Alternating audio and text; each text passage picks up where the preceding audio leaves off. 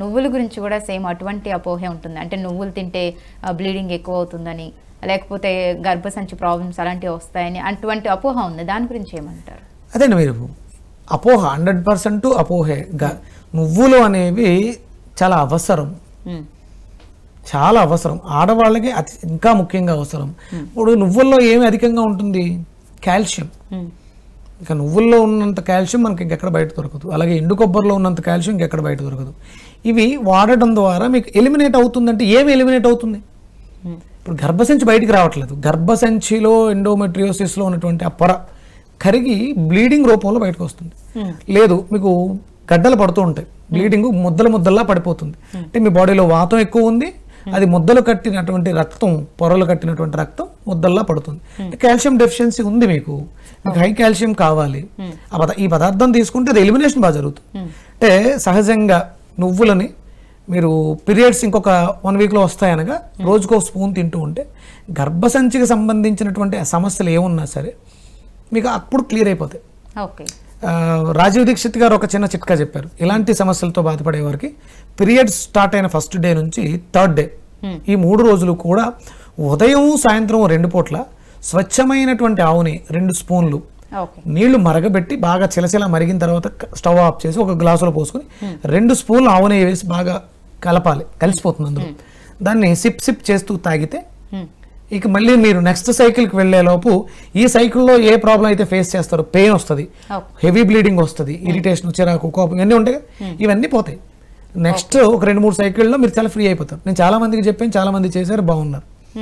Heavy bleeding సమస్య కానీ pain కానీ ఆ మూడ్ స్వింగ్స్ అంటే అందులో ఏముంది? నెయ్యిలో ఏముంటుంది? హై కాల్షియం ఉంటుంది. అది మీకు అద్భుతమైనటువంటి ఆరోగ్యాన్ని ఇస్తుంది. అది బిఫోర్ పీరియడ్స్కి ముందు నువ్వులని రోజు ఒక స్పూన్ వారం ముందు నుంచి. పీరియడ్స్ వచ్చే మీకు తెలుస్తుంది పర్టికులర్ డేట్. ముప్పై తారీఖు అనుకుంటే ఒక వారం రోజుల ముందు నుంచి రెగ్యులర్గా తీసుకోండి అద్భుతంగా తగ్గిపోతుంది. అలాగే రోజు ఒక స్పూన్ అంటే ఈ సమస్యలతో బాధపడేవారు. కాకరకాయ జ్యూస్ ఒక స్పూన్ నోట్లో పెట్టుకోవాలి. తీసుకోక్కర్లే. ఆ చేదు అనేది ఒక రుచి అది ఒక రిపేర్ చేస్తూ ఉంటుంది. మ్మ్. తర్వాత ఒక పది పదిహేను నిమిషాల తర్వాత ఊసేయచ్చు. గోరువెచ్చని నీళ్ళు తాగేస్తే మీకు పీరియడ్స్లో ఏదైతే ప్రాబ్లం ఫేస్ చేస్తున్నారో అవన్నీ పోతాయి. అన్నీ పోతాయి. చెప్పండి. ఇంకా ఎటువంటి జాగ్రత్తలు తీసుకోవచ్చు? చాలా జాగ్రత్తగా ఉండాలమ్మా. ఎందుకంటే ఒక ప్రపంచానికి ఒక శ్రీరామచంద్రుడిని ఒక శ్రీకృష్ణ పరమాత్ముడిని లేకపోతే ఒక అబ్దుల్ కలాంని ఇచ్చేది ఎవరు మదర్ అమ్మ. అమ్మ. వాళ్ళు కాపాడుకోవాల్సింది ఏంటి? హెల్త్ని కాపాడుకోవాలి. హెల్త్ని కాపాడుకోవాలి. మాంసాహారం గర్భసంచుల్ని పాడు చేస్తుంది. తీసుకోకూడదు. అది మన తత్వానికి తల్లి తత్వానికి అసలు మంచిది కాదు. అలాగే చాలా మంది చేసే పెద్ద తప్పు ప్రెగ్నెంట్గా ఉన్నప్పుడు మంచి ప్రోటీన్ కావాలి. బేబీ హెల్తీగా పుట్టాలని చెప్పేసి అని విపరీతంగా తీసేసుకుంటుంటారు. వీళ్ళు తీసుకున్న ప్రతి పదార్థం ప్రతి పదార్థంలో ఉన్నటువంటి అణువు కూడా మీ బిడ్డ బ్రెయిన్ అవుతుంది. మీరు ఏదైతే తింటారో అది వాడవుతాడు. మీరు ఎంత సాత్వికంగా ఉంటారో పుట్టేవాడు అంత సాత్వికంగా శ్రీరామచంద్రుడు అవ్వాలి.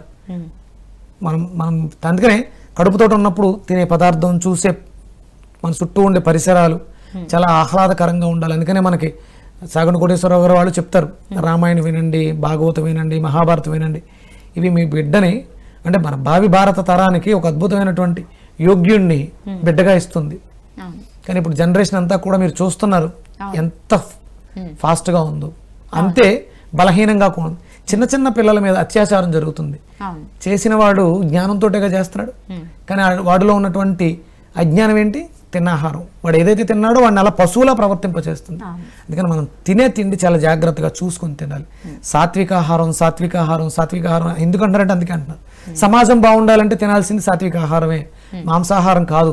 మాంసాహారం ఎవరు తినాలి? సిటీ మనకి అవుట్ అవుట్ సైడ్ మనల్ని రక్షిస్తున్నటువంటి సరిహద్దుల్లో ఉన్నటువంటి సైనికులు వాళ్ళకి అధిక శక్తి కావాలి కాబట్టి వాళ్ళు తినాలి. దానికి తగ్గట్టుగా వాళ్ళు వ్యాయామం చేస్తారు. ఇక్కడ తినేసి మనం కదలకుండా మెదలకుండా టీవీల ముందు కంప్యూటర్ల ముందు ఉంటున్నాం కాబట్టి అదే మన మనసు అవుతుంది. డిప్రెషన్ యాంగ్జైటీ ఎందుకు వస్తుంది? మీరు తిన్న ఆహారం. అదే సాత్విక ఆహారం తిని చూడండి. ఒక మూడు నెలలు టార్గెట్ పెట్టుకోండి. విక్రమాదిత్య చెప్పాడు సాత్విక ఆహారం తింటే బాగుంటుంది. చేసి చూడండి. మూడు నెలల తర్వాత మీ జీవితాల్లో మార్పు రాకపోతే మీరు కామెంట్ రూపంలో పెట్టండి. ఒక అంటే నన్ను తిట్టుతూ నా మా- నీ మాట విన్నా మూడు నెలల పాటు. తిన మేము కోరుకున్నటువంటి ఆహారం తినలేకపోయామని తిట్టుకోండి. నన్ను ఆశీర్వదించండి.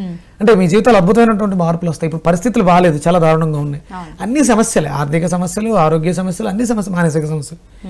సాత్విక ఆహారం అద్భుతమైనటువంటి ఆహ్లాదకరమైనటువంటి వాతావరణాన్ని నన్నే కాదు నా చుట్టూ ఉండే ఎన్విరాన్మెంట్ని కూడా మారుస్తుంది. ఇప్పటికి కొన్ని లక్షల మంది మనం చెప్పినటువంటి కూరగాయల వైద్యం విధానం ద్వారా మనసుల్ని మార్చుకొని ఆరోగ్యపరంగా ఆర్థికపరంగా అన్ని రకాలుగానే బాగున్నారు. అందుకని ఆలోచించండి. నేను చెప్పింది నమ్మ గుడ్డిగా నమ్మొద్దు. చేసి చూడండి. బాగుంటే కంటిన్యూ చేయండి. పది మందికి చెప్పండి.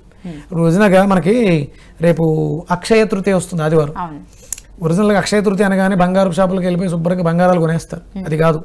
అక్షయ తృతీయ అంటే కృతయుగం ప్రారంభ దినాన్ని అక్షయ తృతీయగా చేశారు. అలాగే పరశు- పరశురామ జయంతి ఇలాంటివన్నీ చాలా చాలా కార్యక్రమాలకి ఇది నాంది అవుతుంది. అందుకని దాన్ని ఒక మంచి పర్వదినంగా చేసుకుంటున్నాం.